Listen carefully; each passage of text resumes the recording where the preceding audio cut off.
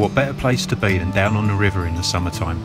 With the breeze rustling through the trees, everything was lush and green and alive, and best of all was the promise of a big fat chub on the end of our line. With that thought in mind, Pete and I made our way down the overgrown path to one of our spots on the River Chelmer.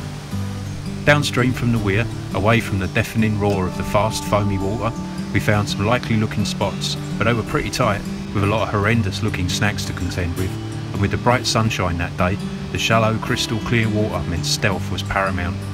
Landing a fish here, we had our work cut out for us.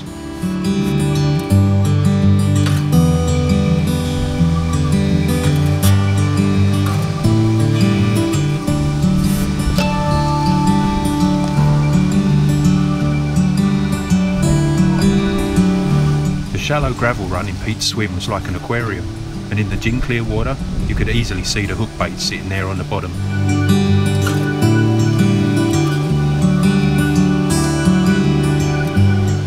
Fortunately, the tall reeds provided some good cover, but we still kept our voices down to a whisper.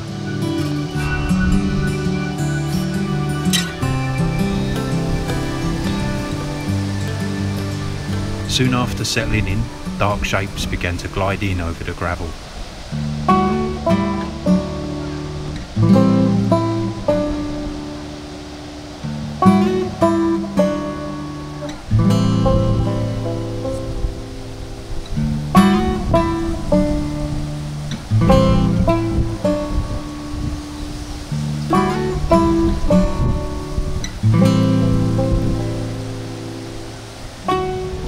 With so many fish in the swim, it took longer than we thought to nab a bite. When it finally came, it turned out to be one of the smaller ones that had slipped up, but at least it was a chub. Maybe that big juicy lobworm was a bit conspicuous, or maybe the fish were getting a bit preoccupied with the small pellets we were loose feeding. Either way, Pete switched to maggot hook bait to see if that would help to tempt one of these wily chub.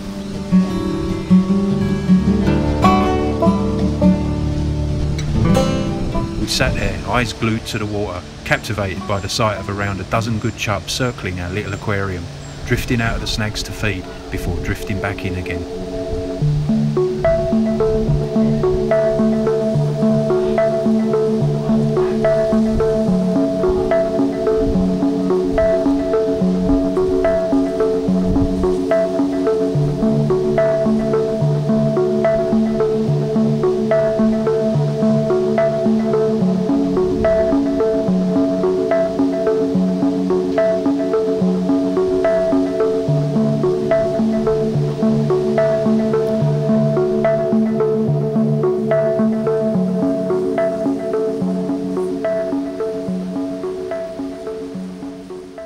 And then, finally, the quiver tip pulled round and the fun and games started.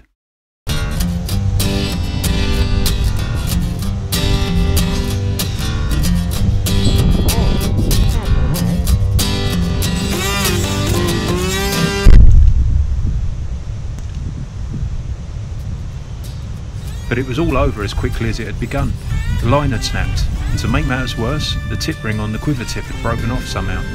We'd been done up like kippers, Nothing to do but try again. As I had yet to have a bite, we swapped swims for a while, and I also managed to lose a decent chub, again getting snapped up trying to keep it from the snags. So Pete moved back into the hot zone and set about earning himself another chance.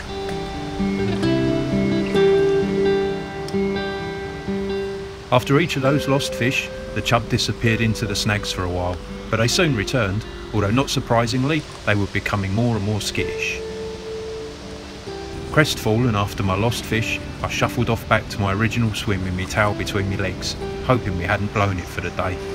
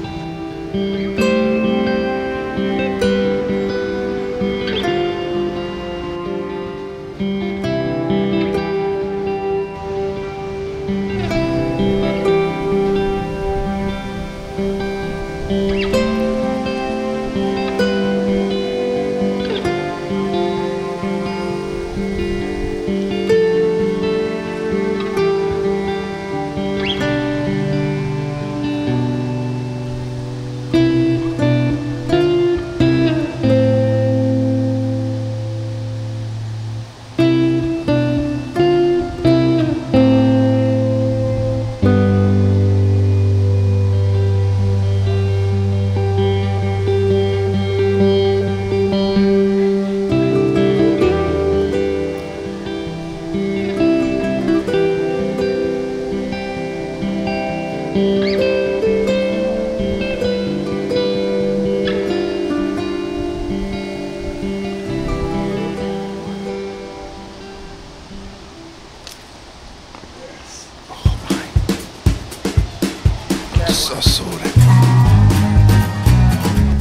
time's the charm. All we had to do was keep it out of the snags and get it into the net as soon as possible.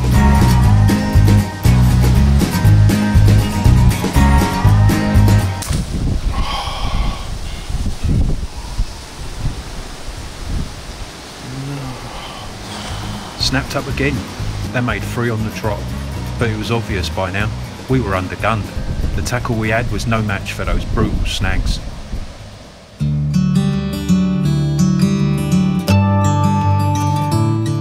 Undeterred, we fished on into the evening, determined to stick it out to the end and hoping against hope that our fortunes might change. But as we all know, you can't win them all. Today just wasn't our day. The fish were still there, mocking our efforts and hoovering up our freebies, so we left them to it with a promise we'd be back one day to get our revenge.